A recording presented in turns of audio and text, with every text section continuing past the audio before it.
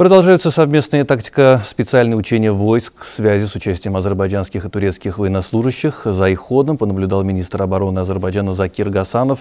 Главе оборонного ведомства было представлено самое современное оборудование связи тактического и стратегического назначения, имеющееся в арсенале наших подразделений. Было доложено, что в ходе учений успешно выполняются задачи по организации единой системы связи. Министр обороны связался с командными пунктами управления военно-воздушных сил, военно-морских сил, артиллерийских войск и сил специального назначения, а также проверил устойчивость и непрерывность связи. Закир Гасанов в режиме видеоконференции связался со штабами объединений и соединений, дислоцированных в Шуше, Лачине, Кельбаджаре и на других освобожденных территориях. Дал соответствующие указания в связи с ходом учений. Затем в пункте управления, развернутым в ходе учений, состоялась прямая видеосвязь министра обороны Азербайджана генерал-полковника Закира Гасанова с министром национальной обороны Турции Хулуси Акаром.